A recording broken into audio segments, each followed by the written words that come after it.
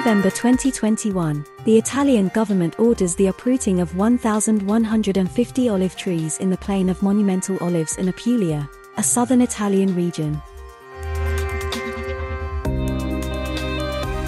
The plants are affected by Xylella fastidiosa, a dangerous bacterium that has become a major phytosanitary emergency for the European Union. Xylella fastidiosa is a quarantine pest that can cause important economic losses and rapidly spread across borders thanks to activities such as trade and tourism. For example, since it was first officially detected in Europe near Gallipoli in 2013, Xylella fastidiosa has spread throughout the Apulia region, causing over a billion euros of damage to the regional agriculture and industry. If its full spread is not contained, this bacterium could cost billions to the European Union in the coming years. What can we do to stop it? As the old saying goes, prevention is better than curing. Indeed, it is more effective and less costly to prevent the introduction of a pest in an area, or to eradicate it early on rather than trying to contain it once it's settled.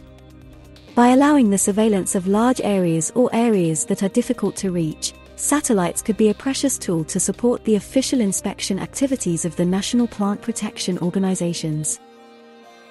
How?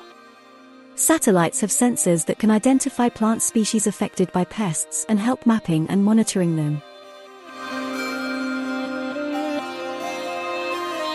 Here, satellites show the spatial and temporal evolution of the olive quick decline caused by Xylella fastidiosa in olive groves in the south of Apulia.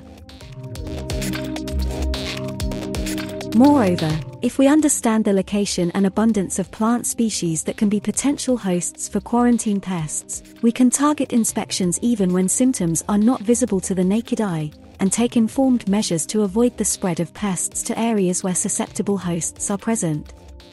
Finally, satellites can even count plants hosting pests, like in this image showing an almond grove affected by Xylella in Spain. All in all, satellites can be seen as the scalpel of a surgeon, because they allow for precise interventions, making monitoring faster, more effective and cheaper.